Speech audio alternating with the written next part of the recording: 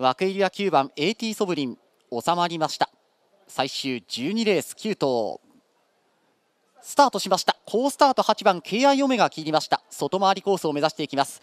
中から押して7番タガノチュール。内から5番のペイシャフラワー先団先頭を伺うような格好で横に広がっています。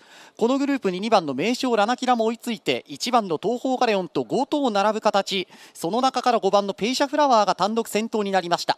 2番手は7番のタガノチュールと内2番の名将ラナキラ。外8番 KI オメガ。内1番東方ガレオン差がありません。4頭です。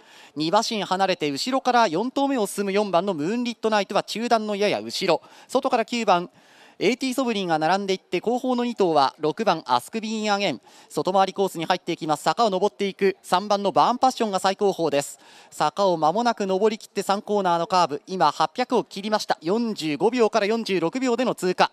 やや縦に長くなって5番のペイシャフラワー先頭でリードが広がった。2馬身から3馬身になりました。2番の名将ラナキラ2番手。3番手7番のタガノチュール600切りました。1000m は58秒ぐらいでの通過です。タガノチュールの外から徐々に進出8番 KI オメガ。それから内を狙って6番のアスクビギンアゲン。4コーナーのカーブに入ってこれから直線です。先頭5番のペイシャフラワー。ペイシャフラワー先頭ですが内から2頭目6番のアスクビギンアゲンがやってきた。外からは8番 KI オメガ。KI オメガ大外から4 4番ムーンリットナイト。さらに外から9番 エーティーソブリン。横に広がっての追い比べあと 150m5 番のペイシャフラワー先頭でリード。2馬身。外から4番のムーンリットナイトが迫る。ムーンリットナイト迫る。9番の AT ソブリンもやってくるが5番のペイシャフラワー逃げ切ったゴールイン。永島まなみ騎手逃げ切りました。